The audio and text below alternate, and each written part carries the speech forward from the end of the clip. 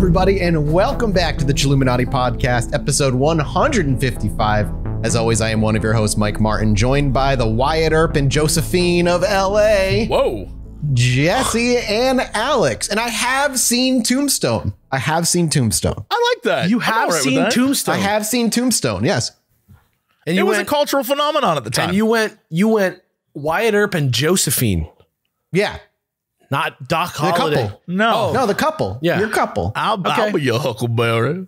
See, I'll be your Wyatt Earp. How about the Maverick and Iceman of LA? Oh, Yo, there you better? go. Like, that's, all right. that's something we can all more, get behind. more relative right now in this moment. Yeah. Did you see it? Not yet. I will. Did you see it? No, not yet. Oh, I'm going to see it this week. Let's go see it at IMAX. I'm excited. I want to go see it at the big IMAX. Right? I'm interested in all of Tom Cruise's skills. I want to know about his skills. He's very skilled. Yeah. He's very skilled. Yeah, you're right. Uh, you know what else is skillful, Alex? Oh, Take no. a- tell me. Tell me what's skillful. Well, I don't you know, know, I'll why. tell- I, I'll- I'll I don't tell know you why I did that. I'll tell you what's skillful. My ability to segue into a promo for patreon.com slash Chilluminati pod. A website Get that it. not only is the finest website, Thank you guys so. much. Thank you, uh, Alex. What? Wait, what just happened there? That's it. He threw us a surprise. He threw us a surprise It's one. not That's only it. the Just- finest website. Pause. Awkward pause. it's What? not That's it. only, That's- that's, it. That's all there is That's to say. You go over there, you give us money. We get to keep making this. It comes out every week and it gets to be as good as this every time, at least. every time. And if you like, I know you. You're ho- you're home right now listening to Illuminati podcast, and and you're like, this is this is the life.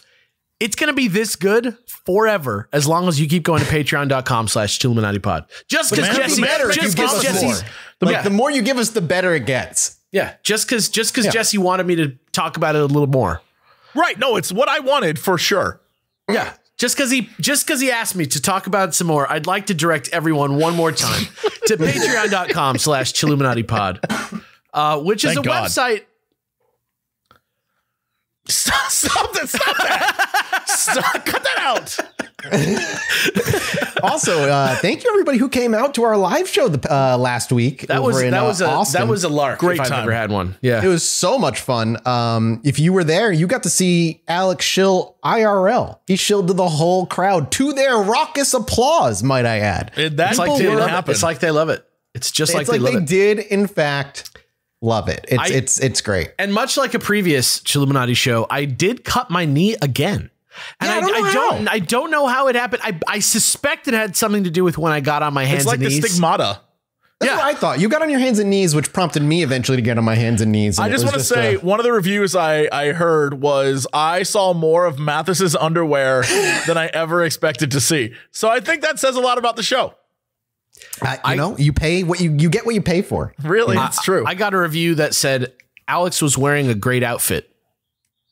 yeah. He was. He was wearing He was an wearing immaculate a outfit. fantastic outfit. I got the review from the venue owner that she said we don't do a lot of podcasts, but of all the ones we've done, yours was by far the best. So that's what you're What can I missing out on. What can I That's say? what you're missing out Slate on. it. It's because you're- Jesse was wearing his Buc-ee's bandana. the I whole was time. wearing my Buc-ee's bandana, and I think I proposed to multiple people that night. Did uh, anyone say yes? Because I mean, you got to throw out multiple fishing lines. Nobody said no. Something Ooh. let me tell you, something changes within these men when they step into the limelight on stage.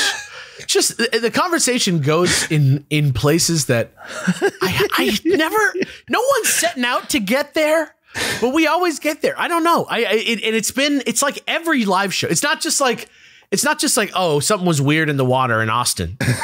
like it was like exactly we, we we always just keep keep circling around it and and i think that's an appropriate way to describe it circling around it uh, and Like I'm a drain. going- yeah like a drain or any other type of hole and i'm not going to What? What are you i'm not talking gonna about? i'm not gonna say what it is that What the are you- what are you conversation always trends to? towards i don't know i'm not gonna i'm not gonna name it by name but i hmm. will say that it's it's something that can only happen at the live show and i think that's what's special you know what i mean i think that's yeah. what's special I agree. If all I'm Patreon.com. slash Chilluminati pod. if you want to see Mathas's underwear, if you want to see Come to our Alex live shows. dressed in the best outfits, period. if you want me to seduce you, uh, come to the live show. It all happens. We're gonna have so many more. It's gonna happen. We're Yeah. gonna have more. We got a, a ton of people are like, come this way, come this way. Listen, we can only go so far. We can only do so with- much. Yeah, we can only do so much. So if we get close, you got to jump on and, and make the trip. Like a few people did. We had somebody from Ireland at this show. I hope that guy made it journey. home. I hope that I guy made it too. Home. He looked he pretty fucking. He looked pretty fucking ragged by the end of his trip. So I hope, I hope he. I hope he got home okay. Shout outs. Shout outs on the Reddit if you're Shout still out. alive, my dude. All right, gentlemen, let's wheel this thing in. Uh, last week, though, Alex, we missed you. Uh, It was your first missed show. And I think at the end, Jesse truly found a deeper appreciation for you as a episode runner when you run your episodes. Oh, is that right? Uh, sure. Who'd you have on? We had we had Krendor on We and he ran the show. Krendor. He ran the topic. He took over. Went well then. It was the best show we've done in in years. Yes. That was the most high pitched I've ever heard Mathas's voice ever go. he went, yeah, yeah. It was like Jay Leno for a second. Yeah. Oh yeah. uh, it was fun. He, we, if you didn't listen to the Krendor episode, one, I did the audio balancing, so it's not great. and uh, and two, uh, Krendor ran the episode, and he he kind of did what I would I would say is like a weird Alex episode. Okay. He kind of did like three in, three little mysteries, but they weren't really internet mysteries. They really didn't have anything to do with each other. They were just like some was like a mystery, some were just kind of like weird facts. And he opened it with uh, a story about you in the car with like blunts in your pocket or something. Incredible. I, got, I gotta how listen to that's, this. that's how the episode started. Yeah. I gotta find out That if is how I'm the about to be episode canceled or started. Mm-hmm. not. Yeah. it was great. It was super great. Uh, but today we're bringing it back. No more, no more Krendor. We're, bringing finishing- it back. We're bringing it back to true crime. We're bringing it back under control, under my watchful gaze. It's the final episode, all about Boone Helm, the Kentucky cannibal. Yo. Which, uh, you know, he's had a wild life these past couple episodes. None of and, this uh, Kentucky Cannibal to me. We are still not there. I don't know what the man is cannibalized everywhere but Kentucky. so if we get to the end of the episode and he never can- cannibalizes within Kentucky, are you going to rename him? Petition to rename? Uh, again, I'm not going to go that far. I don't care that much. In I'm the just name of justice, fuck yes. All right. See, thank you, Alex. At least somebody has some I'll strong fucking come convictions down on on, the show. anyone who wants to call this motherfucker the Kentucky name Cannibal. If he, if he doesn't eat, any, if he doesn't eat anyone at all in the state of Kentucky, we're gonna have words. You dead old cannibal. Uh, his life moving forward is even more insane than episode two, and uh, it should be fun to talk about. So, in today's final episode about Boone Helm, we'll follow the notorious outlaw through his end years and even more madness before we see how his life in the Wild West comes to a fitting end for this bizarre character. And when we last saw Boone Helm, he had just left the company of some distant family, the Johnson brothers, after spending weeks sapping money, drinking like a fish, and getting into countless barroom brawls. Remember, he was he would go to each each brother's gold mine on uh, every other day and just kick back, do very little, and even bother them. How and they I were forget? notoriously lazy in their own town. It's like a comedy sketch about how much everybody wants to murder somebody.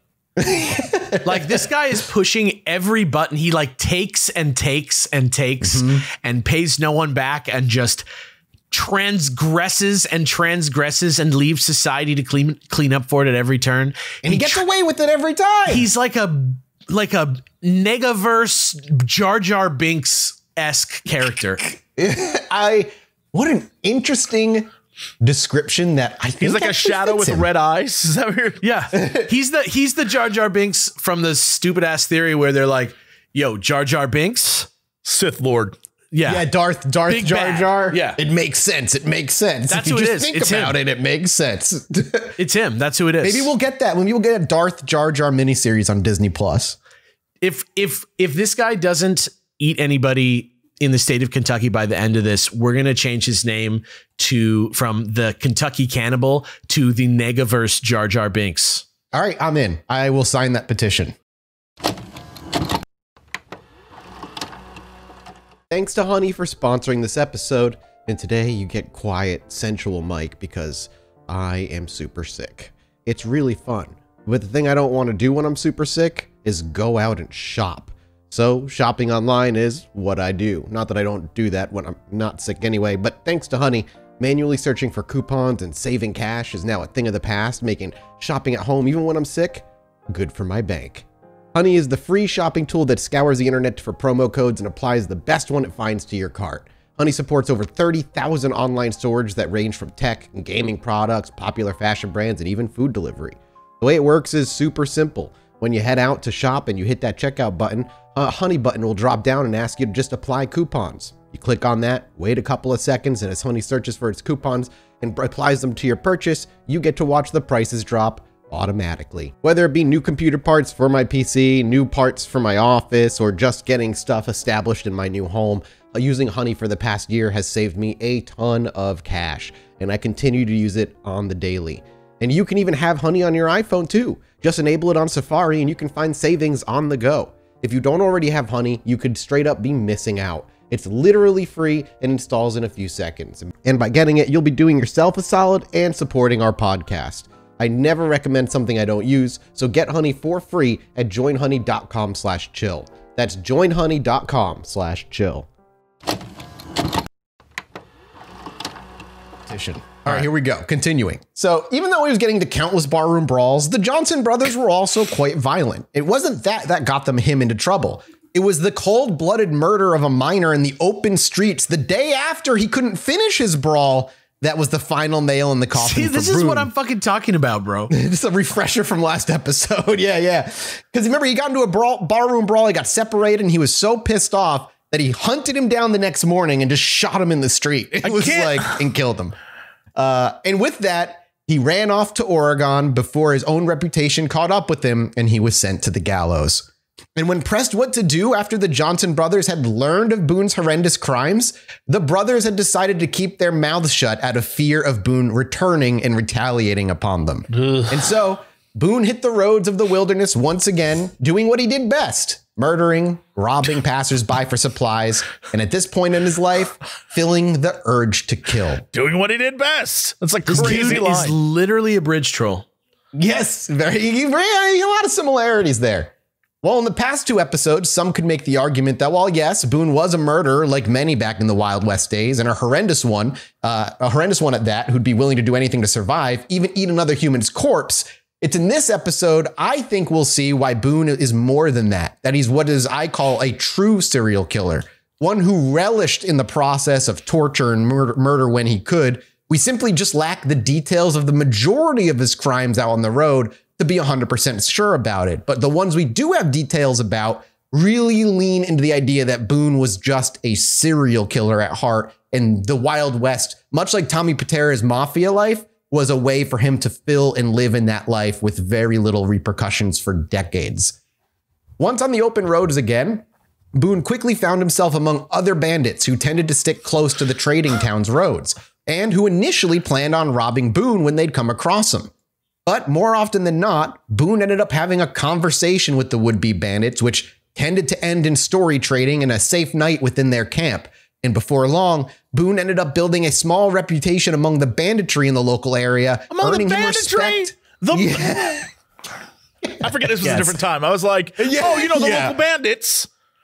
In Yeah. my mind, it's like a D&D campaign where he just charisma checked his way. They're like, you know what? We was going to kill you. Well, you got good stories, mate. And so they just let him live. Crazy. But you're right though, because whispers whispers of Boone's own stories had already reached out here, like rumors of the horrible things Just he'd like done. this fucking asshole.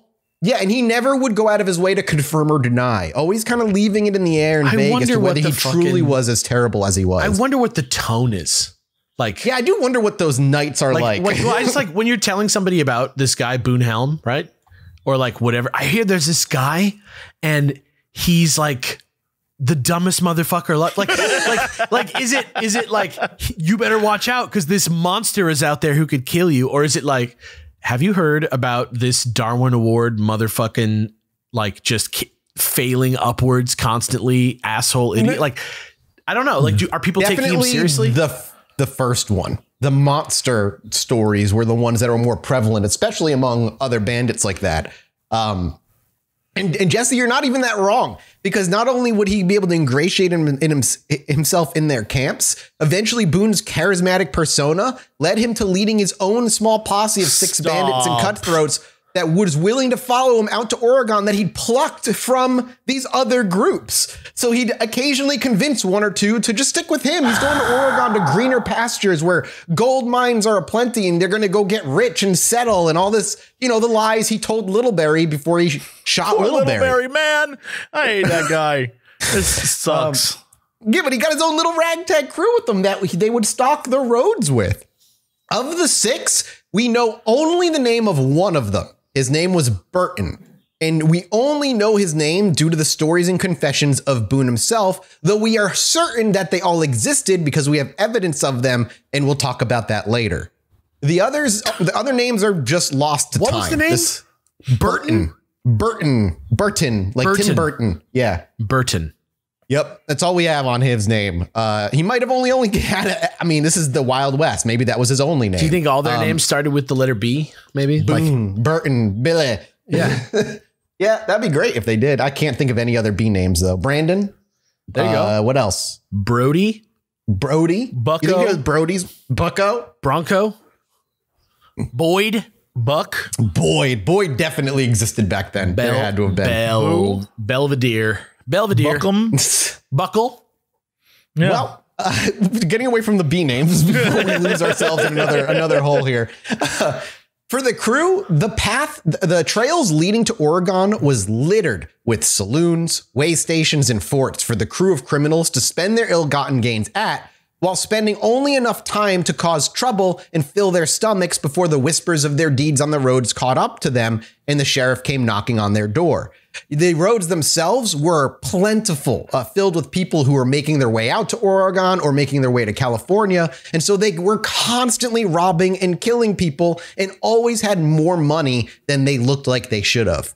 The crew often killed those that they had robbed, taking everything of value, but doing very little to hide the corpse left behind, oftentimes just tossing it to the side of the road. And when the world and when the word of dead bodies would reach the town they were in, who else uh, would the eyes trail to than the mess of a group that walked in with way more money and possessions than their attire and hygiene implied? I'm Soon, just a guy who likes to walk around with three watches. Yeah, it's like these Come dirty on. ass guys that have really raggedy clothes, blood caked on their hands, completely smelling of the wilderness, that have hundreds of dollars and things to sell, and they hang out and they spend time in the whorehouses, and then they leave, and then they come back and they suddenly have more money again. Come on, Like- Burton. Let's find somewhere to put our watches. Of course, though, their time was ticking, and soon their deeds would nearly catch up to them in a small town called da- Dales. D A L L E S. I always want to say Dallas, but I'm pretty sure it's Dales. The sheriff had already been very suspicious of the crew as they continually rolled into town rich, drinking the town dry and having elaborately long stays at the local whorehouses. Whispers of violent men were, all, were always swirling, but recently the deaths in the local area seemed to be climbing. So, with his gut feeling guiding him, the sheriff rounded up some men to head out looking for evidence of potential crimes or witnesses who had seen crimes perpetuated by this crew. But before the group of men had even left their stables, word of mouth had already slipped out, and Boone had learned of this crew looking for reason to put them behind bars. And what do you think Boone wanted to do? He wanted to murder the sheriff. But now that he was in a crew of other people, Just let it go. Don't murder I the know, sheriff. I know. I know. How about not murdering I wanna the fuck- I'm sheriff? Kill him. Yeah. Um. But because he was in a crew, cooler heads did prevail, and instead they opted to run into the wilderness, escaping the town and the sheriff before anybody returned with evidence. And they did return with evidence of, of local crimes, heading back on the road to Oregon, where uh, well before they wanted to. And their next destination before reaching there, a place called Camp Floyd in Utah territory, as the Comstock lode had just recently been discovered. And at the time, the area was controlled and ran by the Mormons, who Boone and his crew believed was a land of free money and easy women because they had heard of the polygamy that was taking place. This is just the dumbest shit ever. I can't, these guys got three wives. Yes, that's literally what it was. Come on, friend. Burton, get our watches. Let's go. We're going. Let's get all those watches we've got. All right, Buckle. let's, let's do Come on, thing. Buckle. Come on, Bismarck. Oh man, Let's go, And this is during the time where uh, John Smith was alive, and he had recently. One day, I would love to cover the like the Mormon like r- roots. John just as Smith. yeah, the, he was alive. No, in, in Joseph Utah. Smith. Oh, Joseph sorry, Joseph Smith. Smith. not John Smith. Sorry, Joseph Smith. He was in this. They had just recently established Salt Lake City, and they were currently uh, at the time having tense arguments with the government because the Comstock lode had been found, and the government was opening up that area as though the land was not owned by the Mormons, and the Mormons believed they had owned it because they moved in and took it. So they were having beef with the government at the time. Isn't that just the way it is? Yeah, yeah, exactly. so, uh, but yeah, he, he had heard of easy women and free money, so that's where they were heading. Easy women and free. This it, it is Free like money. If this the sil- it was a silver mine, a recently discovered silver mine. if this didn't involve murder and eating people, this is like a late '90s teen coming of age comedy. Yeah, 100%. Except it takes place in the Dalles. Yeah, have you seen the like one and only picture of Boone Helm we have? By the way, No. uh, you can Google him. I want to. I'm picturing yeah, there he is. uh, that guy from Stranger Things. Hold on. Okay. We have like one or two pictures of this man. Boone. Uh, Boone Helm. there he is. You could see him standing uh, against a chair. He's got like a rope hanging from his Yeah, jacket. he- he's- got. he's he looks so- like that guy from Saturday Night Live. what? Who? Uh, what's uh, the guy who This guy looks like a- Eric Eric the guy who plays Eric Trump the don't like that guy kind of looks like Where that did you guy His message face- us at? How do we? How do Oh, I didn't message it. I didn't message it. I just said Google it, but I'll I'll I'll, I'll link you No, real I'll quick. picture is just just this, this picture is just so low resolution. Yeah, it, it really is. It looks uh, like a ghost in the mirror. Like it's so Boone Helm. There he is. he looks Here's like him. a If- if- Lego miner guy. If you look him up, Lego miner guy. if you type in Boone Helm and you look him up, he does kind of look like what you would expect from like an 1800s dude. But in the Yep. exact same row is another photo of a dude in a top hat and a butcher's outfit. And that is the guy I would think would be the Kentucky cannibal. I feel like that's a work of art. I don't feel like that's a real picture. Don't care. It looks amazing. It's an amazing, it's an amazing picture. Now that Yeah. guy, I expect to, to eat people. Yeah, well, you know, uh, it makes sense. Yeah, that's Boone Helm. He's, he's a kind of a plain looking dude. Nothing super like stand out He about literally the guy. looks like a matchstick with like a line for a mouth and like two dots for an eyes. Like it looks like you know that movie The Snowman? Yep. That's what it looks like. Yeah, he no, looks like yeah, the little he looks like the little snowman from the snowman. He also kind of has like a every Confederate general vibe to him. You know what I mean? Like if you give him a look, Yeah. he Yeah. has Honestly, it fits because he he espoused uh, love for the Confederacy. Yeah, that uh, checks out. later. Yeah. yeah, yeah. sallow, dire, grim visage. but also Yeah, like yeah. a ludicrous mustache beard combination. Yeah. He's like, Like a the face- skeleton with skin on and like tassels hanging off his fucking yeah, face. yeah, yeah, yeah, yeah. yeah. Looks like that dog that's an ottoman from Beauty and the Beast, but like on your face. yes. Well, boys, with the promise of easy women and free money, off they went to Fort, uh, hopefully to get to Fort Floyd. A few days into their travel, as the crew was traveling across the Raft River, suddenly gunshots had flown out from the forest, spewing up splashes of water and setting wooden shrapnel rocketing off tree trunks. Boone and the gang had no immediate visual and had Boone to and the quickly run the horses. Just Would the you like me to be like Boone, the phrase Burton, Boone and and the five gang, others? That is like a 70s fo- like funk pop band. Boone and the gang. Boone and the gang. They have like a chimp as part of their posse for some Well, reason. yeah, of course. he helps eat the scraps. Oh, we got him for the scraps. Yeah. Yeah. Yeah. Burton picked him up. He traded him for three watches. He, he eats our scraps. Buckle doesn't like him though. No. There's that episode where they're all about to be uh, shot down by a criminal, and all of a sudden you just hear bang, the criminal falls over, and the camera cuts to a monkey smiling with a pistol in his hand. That's right, Bruno. You did good. He's like, he like I guess you're over. better for scraps. To that one member of the crew who hates the monkeys, like, I guess you're better than just for eating scraps. Yeah, Finally, finally melts Buckle's heart, his cold anti-monkey heart. yeah. Okay. Uh, Cue So this Mandalorian we don't know. song. It's not Yeah, this known is a what new. We, can somebody create like a fan art of like the title screen for this show of like the crew, please? Boone and the gang. it's just them like riding off, snacking on a human leg. So yeah, the gunshots flew up from the forest. They had no visual immediately, and they had to quickly run the horses through the riv- river, no longer able to take it slow or risk being hit by flying bullets uh, as a trade-off. And through just enough luck, none of the horses slipped or broke a leg. And once they once across, they bolted into the wilderness, desperate to avoid whatever attack was happening. And when they finally had enough space and clearing to see who was chasing them, it wasn't the law as they were fearing. Instead, they learned they had just crossed into Maidu territory, which at the time the locals called the Diggers, because they ended up living in ma- like mounds and under in like underground. Quote unquote. Gotcha. Interesting. So they were called the Digger Indians, but they were called the Maidu, and that's how I'll be. This just became like a referencing them. JRPG in this episode. Like we're suddenly in like a wild situation. I, no one's eating anyone. I'm so confused what's We're going getting on. there. No, no, we we ate somebody last episode. That's true.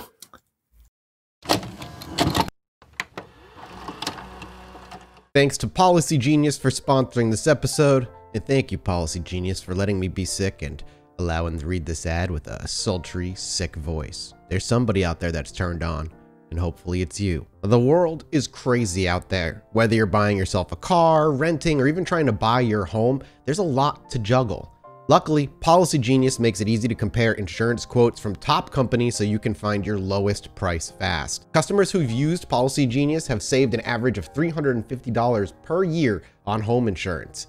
And if you're not sure what coverage you need or how to find a low price, then you need Policy Genius. Policy Genius is not an insurance company. They are a marketplace that helps insurance shoppers understand their options, compare quotes across multiple companies, and buy a policy all in one place, no extra stress. It's your one-stop shop to find and buy the insurance you need. Click the link in the description or head to policygenius.com/chill to get yourself started. Policy Genius will show you price estimates for policies that fit your search. If you like what they find, they'll get you switched over for free. The team at Policy Genius are on hand at every step to help make the right decisions with confidence. The Policy Genius team works for you, not the insurance companies. Policy Genius doesn't add on extra fees, they don't sell your info to third parties, and Policy Genius has earned thousands of five-star reviews across Google and Trustpilot. All you gotta do is head to policygenius.com slash chill to get your free home and auto insurance quotes and see how much you could be saving. Again, head to policygenius.com slash chill to get your free home and auto insurance quotes and see how much you could save.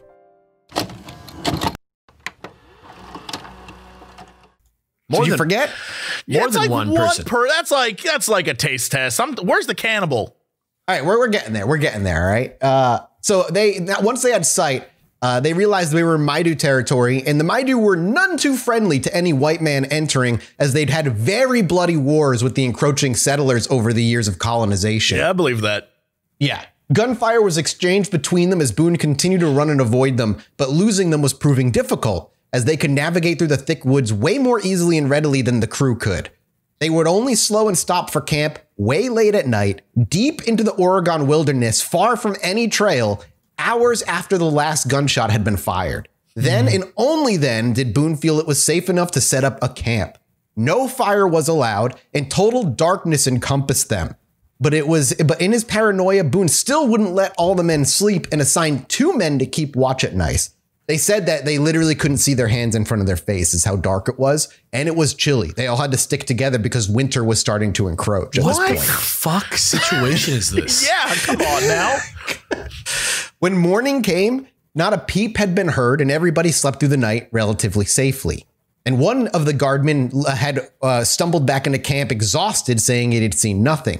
But when the second one didn't return, they simply walked over to where he was stationed, and there he lie, throat slit, ear to ear, and his horse stolen. One of, one of the Maidu had found them, killed him, and taken the horse without anyone, even the other guard, aware whatsoever. Hell yes, that's This is Yeah. like a stealth like a righteous version of Predator.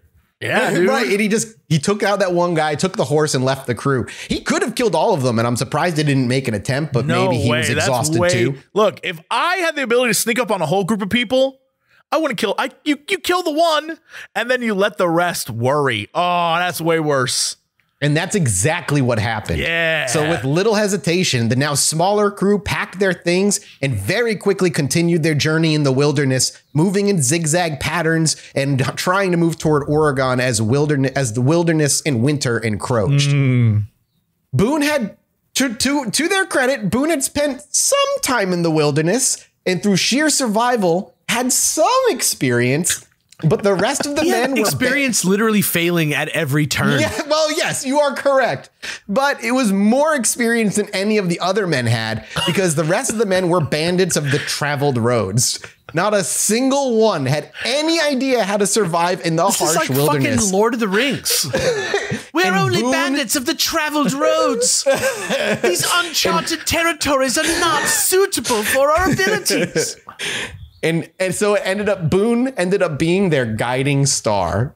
he was going to be He keeps their failing his way up. This is fucking nuts. It's crazy to me. This, you know what it is? All of his failures, uh, it's like the idea, it's like the Thomas Edison quote of like, I just learned 99 ways not to make it. Like that to me is like, I just learned 99 ways not to eat a person. That is Yep. how I feel about this dude. Every It's- turn he fails. And then it's like, but I'm here to save you. And you're like, how, bro? How? uh, Well, with with Boone as their the one trying to lead them through the wilderness to survive, uh, needless to say, the the group group immediately began wandering erratically through the woods, eventually moving in circles. If the Maidu were still following, much like the law from last episode trying to track them, they would have lost them at this point because the there was no logic to the way they were moving. And out of sheer luck, the crew did, after days, eventually stumble across the Bear River, which allowed them to not only get water to drink, but to follow it until they came across a small, abandoned gold rush town called Soda Springs. Soda Springs. Amazing. Yeah, yeah. This is And this is a were lucky. JRPG. This entire thing we're doing Yeah, right yeah, now. it definitely. Now that you mention it, it definitely comes off like an Soda RPG, That's like Fallouty. That's like the JRPG town where you go and everyone's like, "Hello, I am an American." Yeah. We are a basic level. Get your normal shirt at the shop.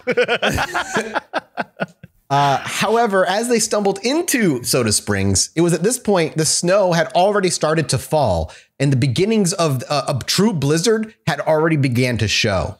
And while Boone God pressured them damn. to keep moving through the abandoned town because the town had already left for the winter, leaving no supplies behind, and to try to keep moving to the next closest fort where he believed people would be, uh, he was once again outvoted by the crew, and they decided to hunker down in the abandoned town of Soda Springs and wait out the blizzard, moving when the blizzard passed. Sure. And within hours of them hunkering down, snow started piling up, and those hours would turn into days. So they're like stuck. Out of curiosity, would you try to move forward? You're now in the Wild West. You don't have to be Boone Helm. You're just trying a guy trying to survive. Winter's here, snow's coming. You know, like the fort is probably like a couple days travel still away, but a blizzard is happening now. Do you do you try to make it or do you stop and stay? I try to ride ahead of the blizzard for sure. Yeah, I mean, I would try. I, I- is there snow already on the ground? It's yeah, snow is already starting. How delicious is Burton? I don't. He's a he's a man who's been trying to survive in the wilderness with Boone. I can't oh, imagine. he's fit. He's tendies. If he's delicious, if he's delicious, I might consider staying. yeah, I would find. I'd be Okay. like, "Ooh, my calf muscle. Oh, I'd we're gonna be have to like- stay here the night." I'd be like, did you know that uh, we are in Kentucky? They're not in Kentucky. right Hey, hey, Burton, come sleep next to me tonight near the fire, near these ropes and wood. Hey, Burton, come smell this rag. Come here. Uh, well, the blizzard did kick in, and they quickly were stranded in this town. And their supplies would only last them a couple of days. Soon, they were eating the horses' oats, having been out of the supplies that they had, and the horses began to starve. And once they finished off the horses' oats, they began to take the horse meat and after slaughtering their own horses, turning the meat into jerky, and eventually resorting to eat, uh, eating leather in their skin my as God. food ran low. This whole time, Boone did not get argumentative.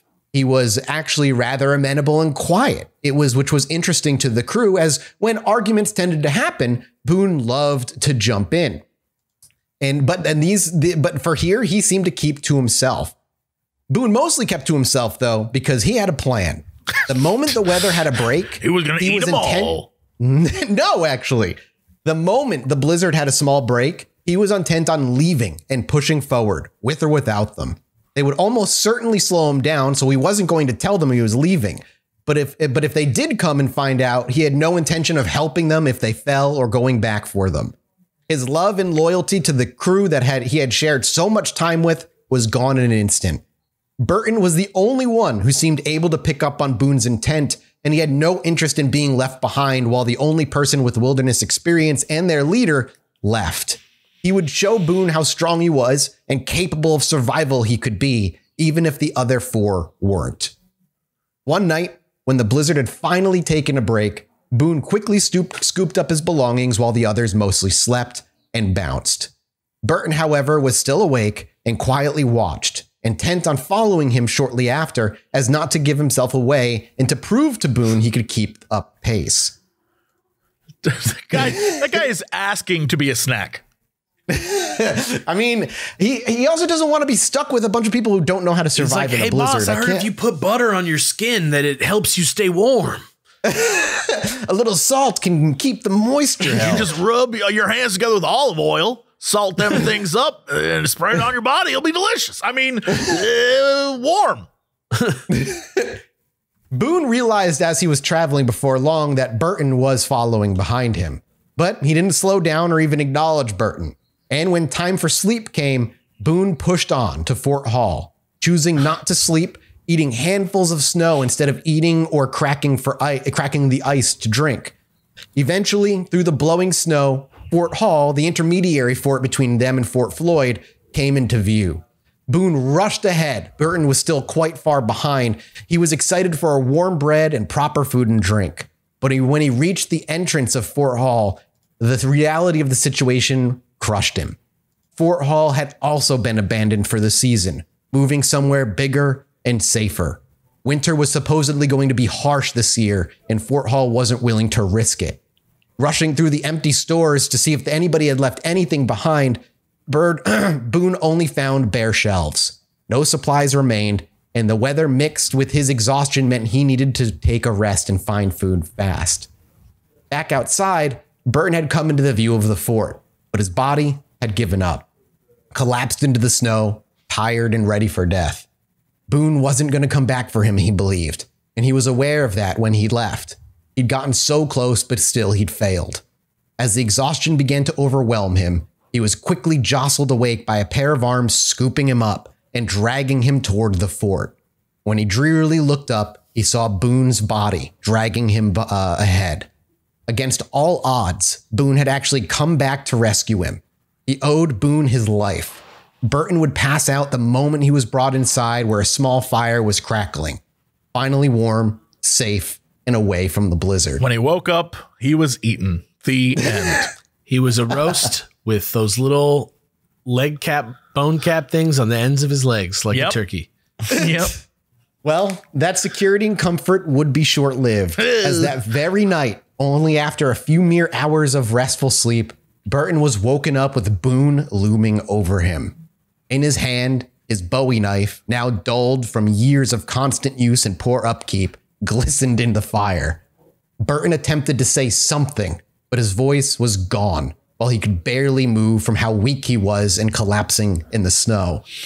Boone said nothing before he simply straddled Burton and pressed his dull knife into his thigh. Burton attempted to fight and scream, but he could offer very little resistance. Boone roughly sawed through muscle, tendon, and eventually bone. With Burton in and out of consciousness, screaming and writhing, causing a mess on the floor before he would eventually succumb and pass out once more. Damn. God damn. The next time he awoke, it was the smell of roasting meat that did it. When he looked down to his leg, a tourniquet had been applied to his wounds and the bleeding had stopped. So this man the is pain- eating him bit by bit. Yo, yo, whoa. the pain This is some Hannibal Lecter immense. shit. Whoa. And now, with food at the ready, watching his own leg being cooked over a much bigger fire, Boone seemed to lose his feral nature.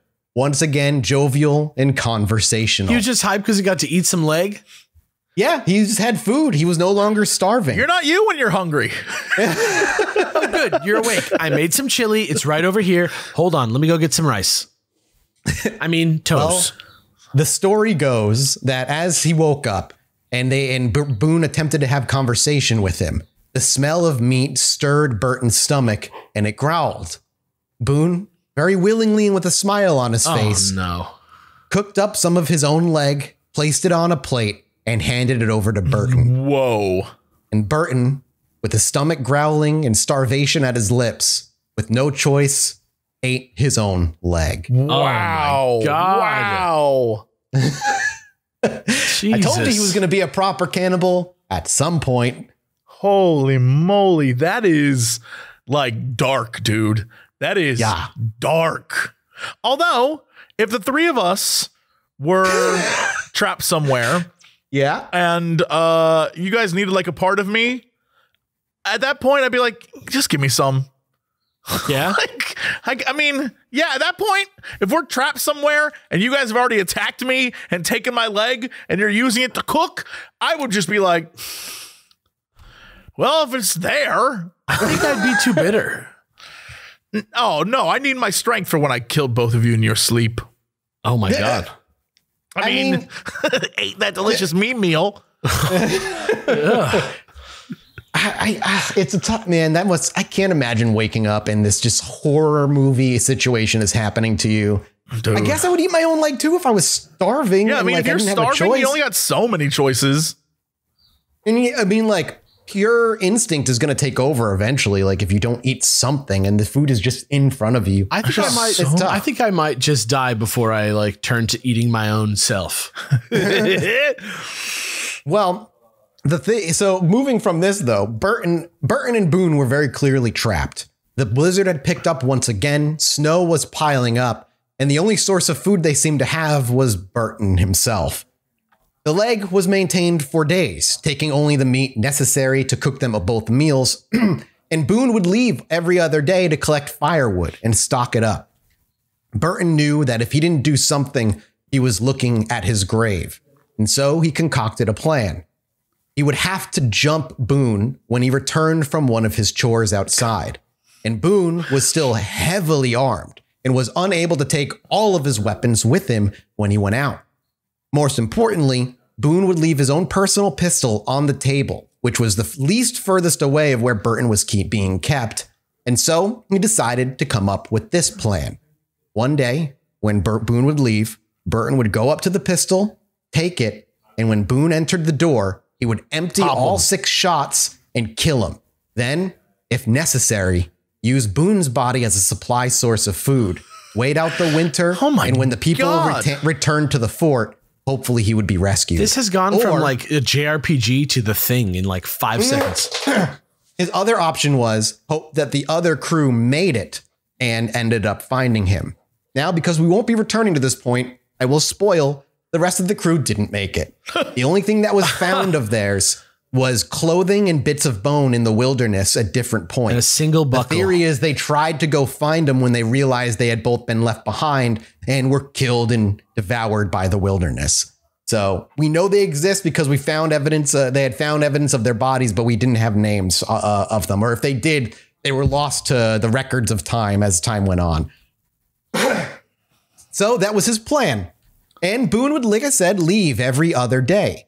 And he would make attempts on to, to enact this plan first. First, he wanted to know how long it would take him to reach the pistol.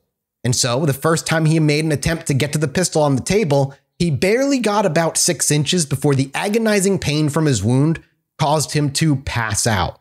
Luckily for Boone, or rather, luckily for Burton, when Boone returned, his position wasn't too far away from where he was left, and Boone didn't have any thoughts about what uh, that he had moved.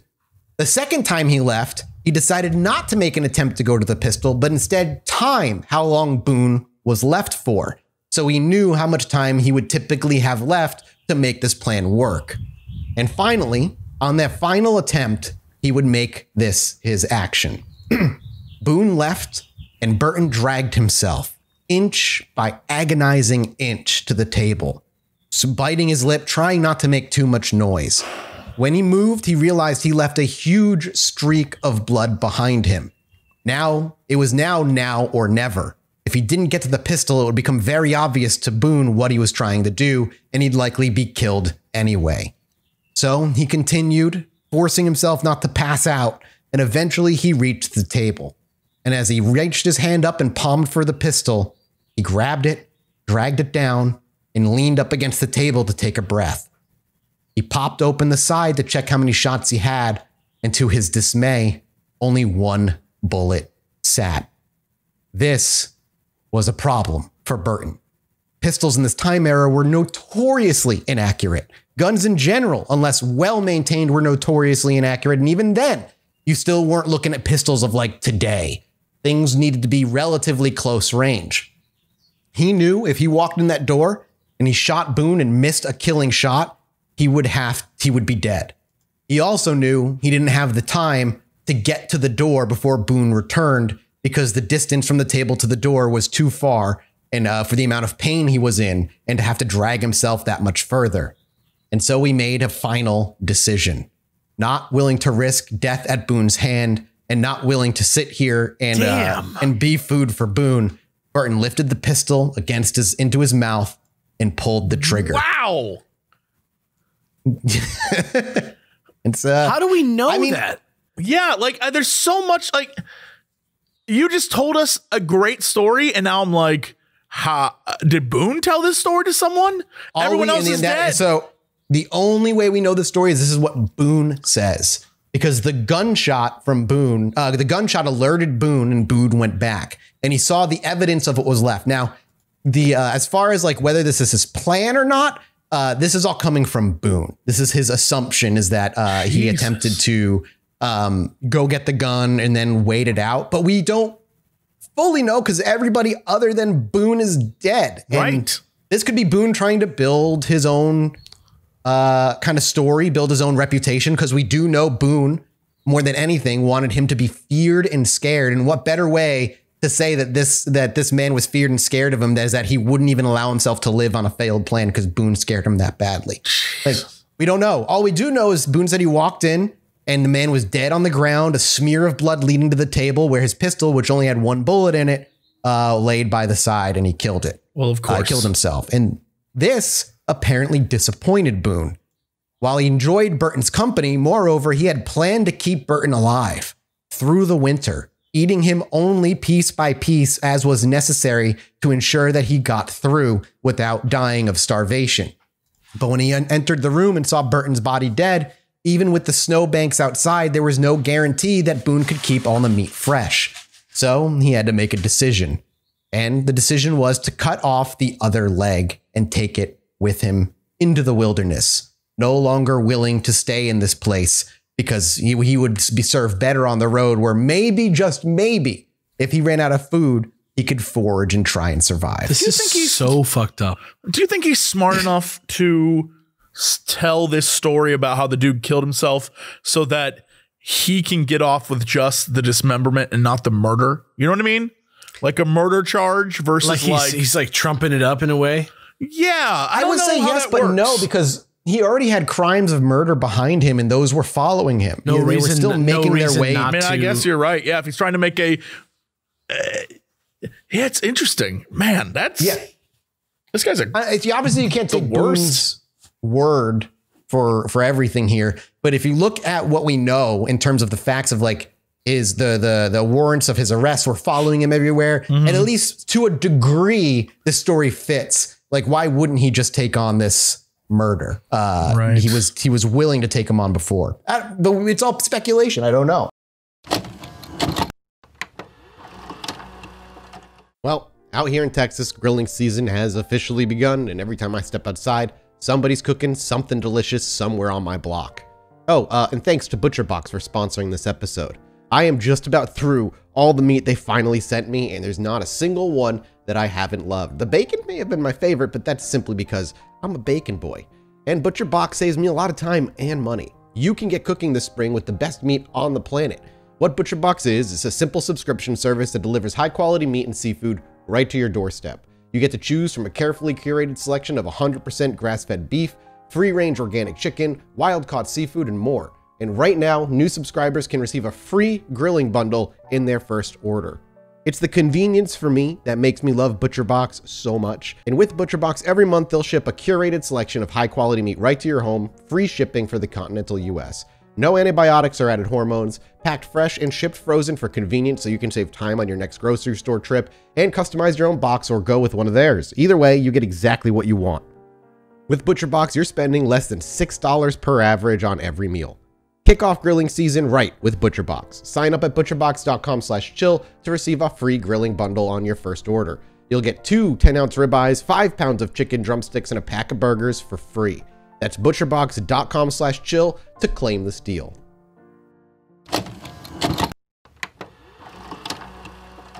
Um, again, I think this is also probably true because we'll we'll talk about it a little later in the episode. But the man truly did love to torture. He when he had the opportunity to torture living people and get away with it consequence free, he did it almost every time. And we'll look at that uh, in the future. Regardless, at this point, Boone entered the wil- the winter wilderness again, continuing his journey toward the land of easy women and free money. and those days turned into weeks, and probably unsurprising to the two of you, Boone's natural ability to survive in the wilderness hadn't gotten much better. he tried to forage and hunt to very little success when he ran out of leg meat, and soon he was cursing himself for not at least taking another piece with him on the desperate need of needing to eat again. Then he lived. He did. He did live. Because eventually, So Boone stupid. stumbled into the, the territory of the Shoshone uh, native group. And the Shoshone had a tense peace with the Mormon people not too far away. He not only stumbled into their camp, but wordlessly sat down at a log at a fire, and the Shoshone, not willing to risk the peace they had with the Mormons, took care of him. And for days upon days, the Shoshone took care of Boone, feeding him, giving him warmth, until a nearby traveler, a traveling merchant, came by. And they were at that point very desperate to get rid of Boone because he had become a nuisance. He was eating everyone. Yeah.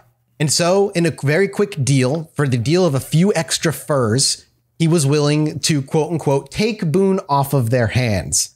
And uh, with that, he was saved.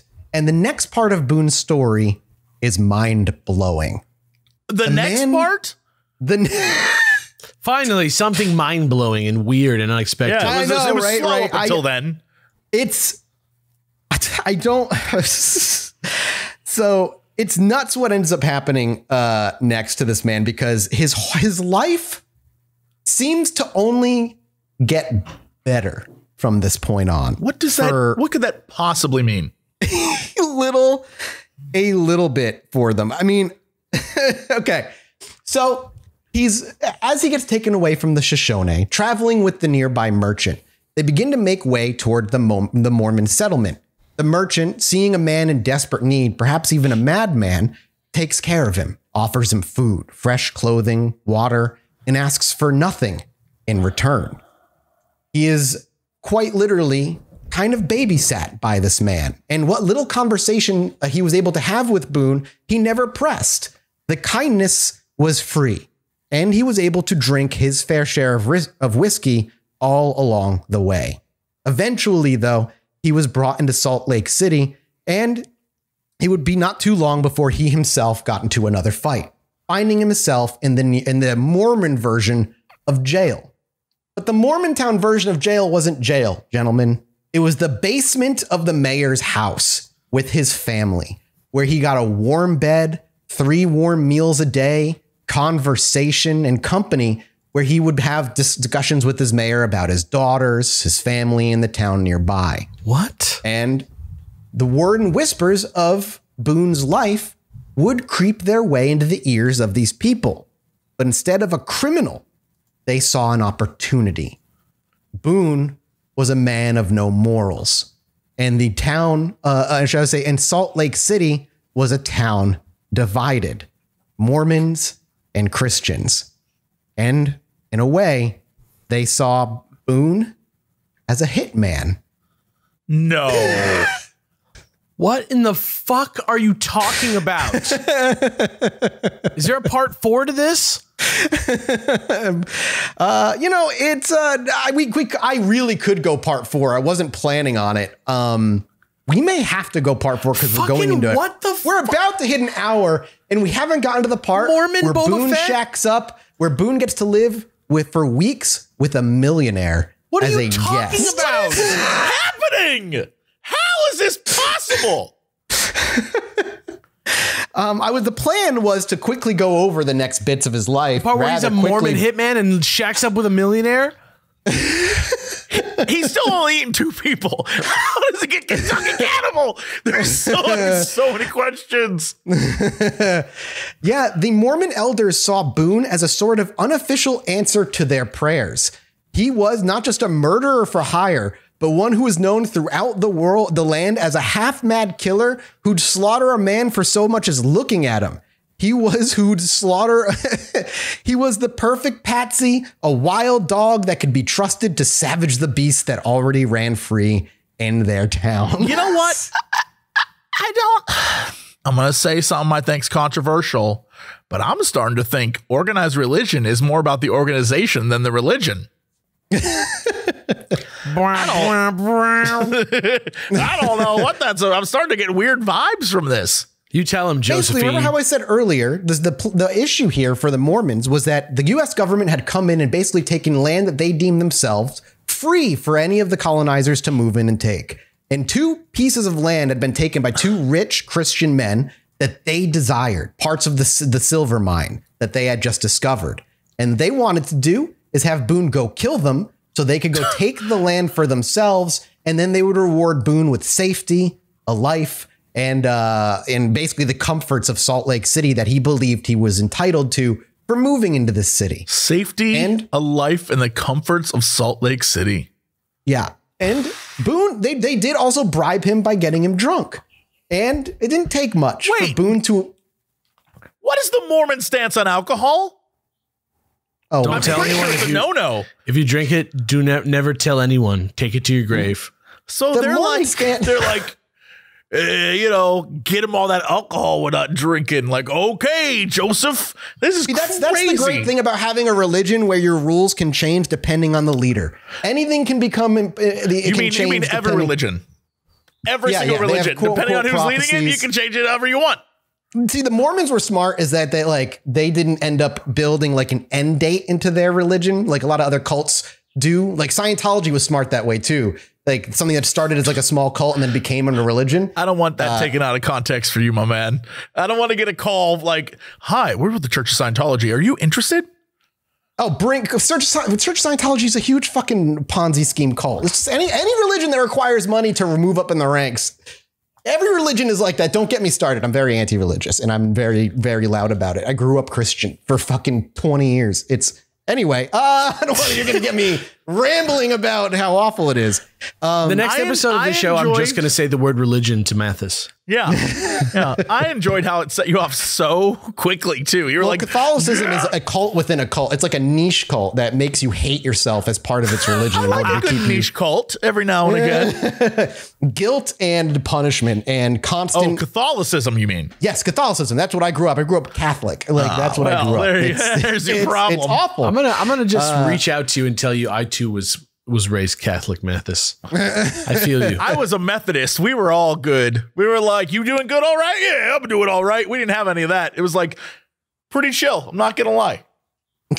Pretty chill. so It was pretty uh, chill. We weren't, you know, we were like, Let's get- Jesus is a pretty cool dude. It was like, all right, it's pretty- was Jesus, all right. Jesus is a really neat guy. yeah, that's what it was. It was like, all right. It wasn't a lot of like, and You're going now, to hell. A lot of going to hell. Yeah, now you're going to hell. I didn't have a lot of that as a kid. You're going to hell for a lot of things, man. There's a lot of reasons I was going to go to hell, and it was uh, Uh, I'm man, pretty sure the meant I devil going give me hell. powers is a gateway. Yeah.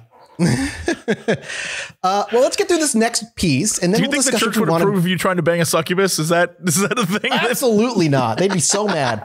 but they also told me Satan was filled with like bargaining and like wanting souls, and that's why I was like, well, maybe Satan will let me be a Power Ranger if I bargain my soul. Nah, Didn't work like that. nah, you ain't about that. Satan will let you be a Power Ranger. Listen, I was a kid. What do you want? Yeah. I was just, just you know, whatever. if anything, your time in religion, uh, it's it taught me that you saw, oh, I could just reach out to this devil guy because like he's clearly very real and more importantly, going to help me become a Power Ranger for my soul. And you were willing to do that. The lesson you learned from years of being Catholic was that you can phone up the devil and become a Power Ranger. That's what you took away. yeah, and, on your, and on your deathbed, you can ask for forgiveness, and you'll just go to heaven. Ah, boy, that's it. All seems like a scam to me. that It's like it's all. It's almost like uh, you know, like during the time of the medieval era, especially during the Black Plague, you could pay priests money for a ticket into heaven. yeah. Catholicism, baby. All right, let's uh, let's move forward. So the Mormons did, with a little bit of liquor and some money and the promise of safety, hired Boone to kill these two men who took land that they believed were theirs. I cannot believe that this is happening. I'm sorry. I just had However, to, yeah. they had ass- they had assumed that Boone would take a more stealth stealthy approach, more nuanced and Yeah, subtle approach yeah, to murdering these men. How do you think Boone handled this? Probably not well. He probably Yeah, walked yeah. up to them in the middle of the street and fucking shot him in the face. Well, you are correct. The first victim, the first victim, Boone simply strolled up behind him while he was blind drunk, pissing on the side of a trading post, placed the barrel of his pistol against his head, and simply pulled the trigger. Jesus. News of that brutal kill had only just reached the other target when he caught sight of Boone walking down the street with murder in his eyes. But he, instead of trying to stand up and fight Boone, he tried to get away, which caused Boone to just raise his pistol and empty every single shot. And while a bunch of shots missed, not enough of them did, and he also fell dead in the road from Boone's pistol. When Boone returned, he expected a reward, a good job and a pat on the back, everything he was promised. Instead, when the sheriff brought him to their building with him claiming that they had hired them, they denied everything. This place still had laws, and they could not uh, end up being in trouble with the sheriff for Boone's actions. And so Boone was thrown in prison. Now, the question is, gentlemen, do we go to a part four or do we push, I'd say, another 30 to 40 minutes and wrap up this story? That is so insane to me that there's that You- much more. You can't. All right, here's what I'll say. Even though, for the love of God, I'd love to wrap this up, I will say that I feel it would be an injustice for us not to Really deep look at dive this. into like Yeah. you're telling me that there's more to this, and not only that, it's more insane, and he's still only eating two people. I'm expecting more people to be eaten. I- he ends up with a millionaire. How, there's so much going on here. I I feel like we have to. Part four. All right, we'll wrap this thing up next week with a final bit, but it'll allow me to go into more detail Man. of his life as a, we'll say, his life living with a millionaire and his life as a as a soldier. How? As a soldier. I was gonna get through the soldier part really quickly today. I was just gonna be like some brief details, but we'll talk a little bit I more about to it know next more. week. Yeah, this is How are we nuts. doing this? Four parts on this man. That's, That's what I nuts. always This is something say. I expected two parts at most, and we're going on to part This That's four. what I, I will always say. say. Out of all of our, our killers slash whatever we're, we do on this podcast, I am by far the most entertained by Boone's adventures. I can't even.